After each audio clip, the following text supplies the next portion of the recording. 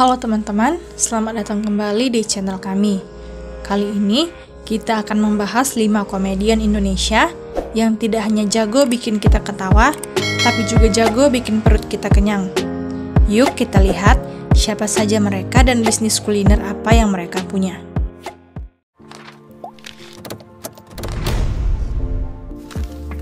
Mumuk Gomez Mumuk Gomez bersama sang suami Eno Retra dan sahabatnya Anwar membuka bisnis kuliner bersama.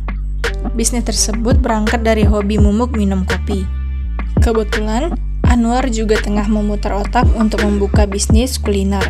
Akhirnya, ia bergabung dengan Mumuk Gomez dan Eno Retra untuk membangun usaha tersebut. Lewat usaha barunya ini, Mumuk Gomez berharap bisa menciptakan inovasi yang khas bagi pencinta kuliner.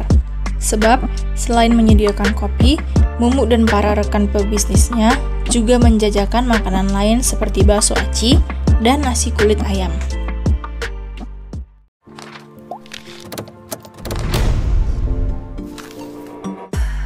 Sule Komedian Sule kini menjajal bisnis kuliner yang saat ini juga banyak digeluti para artis. Ia membuka kedai makanannya yang diberi nama Partai Ceker Rempah.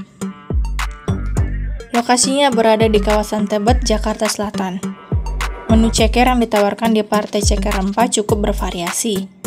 Mulai dari ceker goreng sambal mata, ceker bakar, sop ceker, kulit ayam sambal mata, ayam goreng sambal mata, dan masih banyak lagi.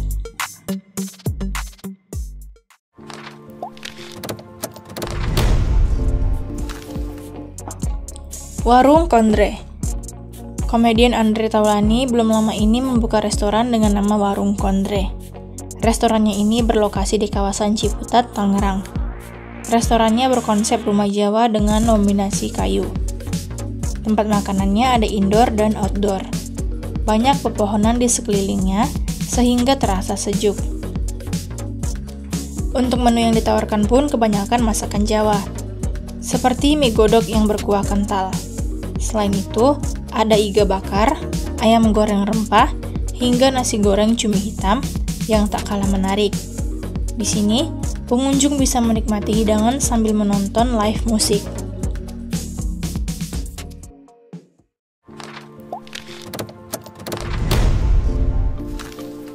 Ruben Onsu Presenter sekaligus komedian Ruben Onsu tampaknya sangat passionate menggeluti bisnisnya, terutama di bidang kuliner. Ruben dan istrinya Sarwenda telah melahirkan berbagai macam produk kuliner yang disukai banyak orang. Salah satunya adalah geprek bensu. Bahkan, Ruben telah membuka cabang di berbagai daerah di Indonesia. Lebih dari 100 outlet tersebar di berbagai kota di Indonesia.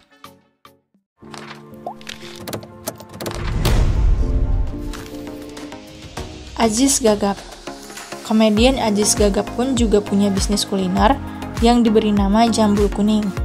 Restorannya ini berlokasi di Bilangan Meruya, Jakarta Barat. Menu yang ditawarkan kebanyakan masakan Sunda. Ada nasi liwet yang harum dan pulen dengan berbagai pilihan lauk. Selain itu, Jambul Kuning ini juga menawarkan aneka menu olahan seafood, mulai dari kepiting, kerang, cumi, ikan, dan lainnya. Uniknya, restoran milik Aziz Gagap ini sering dipakai untuk berbagai acara, mulai dari pernikahan, arisan, dan acara keluarga lainnya. Jadi, itulah 5 komedian yang sukses di dunia bisnis kuliner. Kalau kalian punya rekomendasi tempat kuliner lainnya, tulis di kolom komentar ya. Jangan lupa like, share, dan subscribe untuk konten menarik lainnya.